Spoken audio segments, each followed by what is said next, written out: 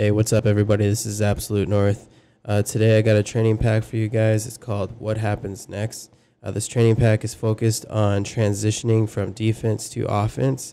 Um, it's actually a striker training, but it starts you off on your goal, saving a shot.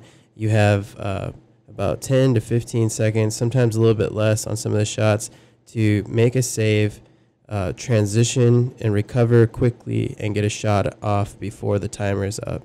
I wanted to create a training pack like this because I've been looking for one for a long time.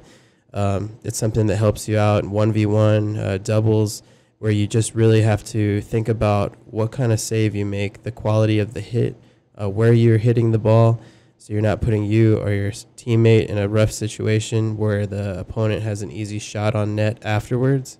Um, really hope to uh, help you guys out.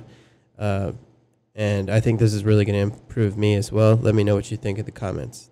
Thanks.